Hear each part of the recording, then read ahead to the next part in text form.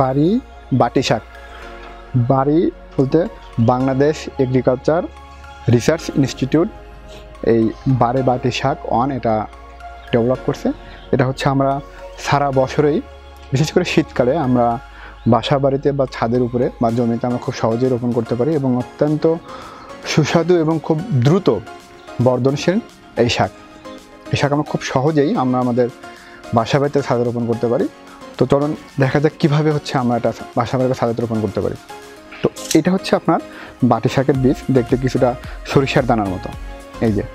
তো এই বাড়ি বাটি শাক আমরা কি করব? এই বীজটা প্রথমে হচ্ছে আমি দশ থেকে পনেরো মিনিট সানলাইটে রোদে শুকাবো। শুকানোর পরে আমি এটা কি করব? খুব শুষ্ক জায়গায় ঠান্ডা করব। ঠান্ডা করার পরে হচ্ছে আমি বিকালবেলা, অর্থাৎ আসরের নামাজের পরে বা সন্ধ্যার দিকে হচ্ছে আমি এটা রোপণ করব আমি। এই জন্য আমাদের কী করতে হবে?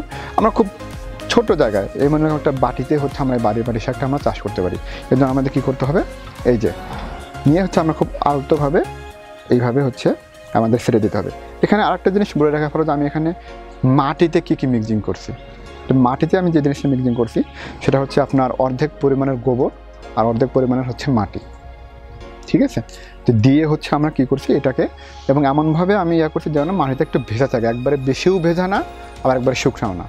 তবে হ্যাঁ আপনাদেরকে অবশ্যই জিনিস খেয়াল রাখতে হবে যে বাটিতে হচ্ছে বা যে টবে বা যেখানে মানে সেখানে কিন্তু আমরা সাইড দিয়ে কিন্তু একটা ছিদ্র করতে হবে। আমি জাস্ট ভিডিও বানানোর ক্ষেত্রে আমি এটা দেখাচ্ছি বাট আমার এই যে যে বাটিটা আছে, এখানে যে শাকটা আছে, দেখেন এখানে কিন্তু হচ্ছে আমি সিদ্ধ করছি, দেখেন এই যে এইখানে যে জায়গা আছে, এখানে কিন্তু সিদ্ধ করা আমার, এই যে। বুঝতে পারছেন? তো এটা করার পরে আমরা কি করব? ঠিক ভেজা মাটি, অল্প একটু মাটি আমরা কি করব? ঠিক আলতোভাবে, ঝুরঝুরে দেখেন মাটিটা কিন্তু ঝুরঝুরে আমি কি করব? সুন্দর করে এইভাবে চারপাশে আমি দিয়ে দেবো। দেওয়ার পরে হচ্ছে আমি কি করব? একটু ছায়াতে আমি এমনভাবে দেবো, বেশি যেন মাটি যেন আমার না হয়। আমার অ্যাটলিস্ট এতটুকু হবে, এক ইঞ্চি বা দুই ইঞ্চির মতো হচ্ছে আমি এটা হচ্ছে আমি কাভার করব। কাভার করার পরে কি করব? আমি ছায়াতে রেখে দেবো। তো আমাদের যে বীজগুলো জার্মিনেশন হবে, সেখান থেকে হচ্ছে আমরা কিছু বীজ, কিছু গাছ রেখে বাদ বাকিগুলো হচ্ছে আমরা তুলে ফেলে দিব আমরা।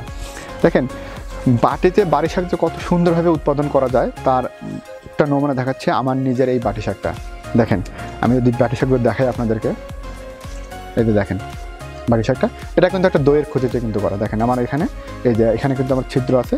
প্লাস দেখেন, আপনি যদি খুব ভালোভাবে দেখেন এই জিনিসটা অবজার্ভন করেন এবং দেখেন কত সুন্দর একটা এই শাকটা হয়েছে। এইভাবে হচ্ছে আমরা কি করব? আমরা সারা বছরই আমরা হচ্ছে এই বাটি শাক আমরা বাসা বাড়িতে আমরা এভাবে চাষ করতে পারি।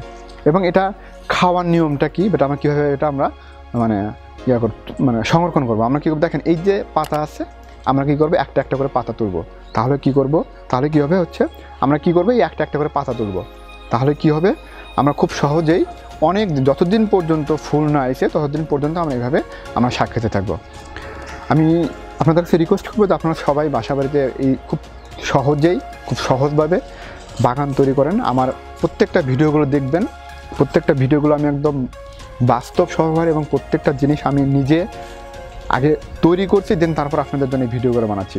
দেখেন আমার এই বাটি শাকটা কত সুন্দর। এবং আমার সত্যি অনেক লোভ হচ্ছে আমি আসলে এদেরকে খাব কিনা। আপনারাও দেখেন, আপনাদেরও মনে হবে যে না, আসলে এটা খাওয়ার মতো না এটা আসলে দেখার মতো একটা জায়গা। দেখেন, প্রত্যেকটা কত সুন্দর কত সুন্দর দেখেন এই যে। তো দর্শক, আমার চ্যানেলটা ভালো লাগলে অবশ্যই চ্যানেলটা লাইক করবেন শেয়ার করবেন, এবং ইন্সপায়ার করবেন। ধন্যবাদ আপনাদের সবাইকে।